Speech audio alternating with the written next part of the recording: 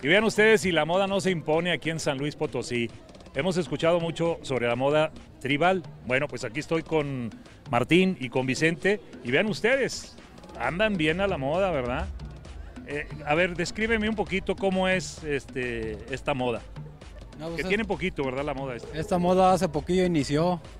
Sí, Se ha ido comulgando más y más cada rato sobre las modas que han venido. En la bota cuadrada y en la bota picuda. Ahorita la presente es la cuadrada. Es la, es la cuadrada. Sí. Pero veo que es la picuda, ¿no? Como el caso aquí de Martín, que Martín trae sus, sus botas así muy, muy picudas, ¿verdad? Sí. Pero veo que tú traes muchos accesorios, sobre todo, Vicente. Ya son regalos de las novias. Ah, los regalos de la noche. Bueno, el sombrero tiene que ser de cierta manera, ¿no? O sea, el sombrero Entre abierto, abierto de y entrecerrado por enfrente. por enfrente, así. Pero el ala del sombrero tiene que ser más chica, ¿verdad? Más chica tiene que ser Más chica. Y, y tiene que estar así levantadito. levantado. Levantado así es, ¿verdad? Pero también traes un corte así como... A ver, ¿te lo puedes quitar el sombrero? Estos son los cortes que nosotros dedicamos. De hecho, yo me dedico de estilista de corte. Aquí a la Plaza Chica tengo mi local ahí donde hago ese tipo Ah, de tú lo haces. O sea, como, como estilista. Como estilista yo lo traigo representado como para los demás que gusten hacérselo, el corte. Ándale, no, pues ya va el comercial, ¿verdad? Porque ya va el comercial. Oye, muy pro- y también la ceja, ¿verdad? Porque también También hacemos depilación de ceja y alineado de ceja y como diseño. como diseño, porque es parte también de eso. Es parte como todo lo que es físico de que combine tanto una cosa como otra. Pero bueno, tú vienes elegante porque hasta con corbata, compadre, sí, ¿verdad? Pues, o sea, luego parte con también para que se mire la representación de, de andar estrenando. De andar estrenando. fiesta que estamos. Claro, pues sí, sobre todo en las fiestas es cuando se luce, Martín. Sí, claro que sí. O también hay algún Pues algunos, eh, en algunos... cuando se va a ver a la novia. o- No, pues en veces. Ah, tienen que, ¿verdad? Porque cuando se va a ver a la novia, pues hay que ir elegante así de esa forma, ¿no? Eso sí. Sí. Entonces tiene poquito esta moda Sí, eh, tiene poquillo. Cada año van acomulgando más modas y más modas. y, y más modas, ¿verdad? El, el pantalón, ¿cómo es? Es de, sí, de tubo, ¿verdad? Es entubado, se mantiene entubado. Eh, Levi's.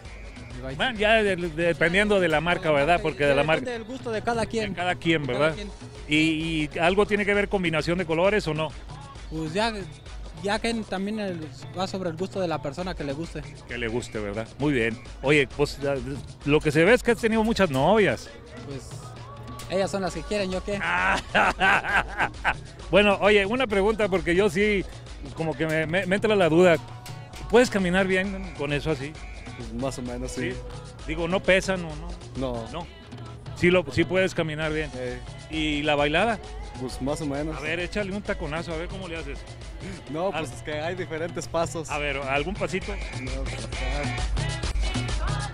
¡Vámonos! bueno, es la moda. Vamos a continuar con reportajes de Alvarado. Sigan viendo reportajes de Alvarado.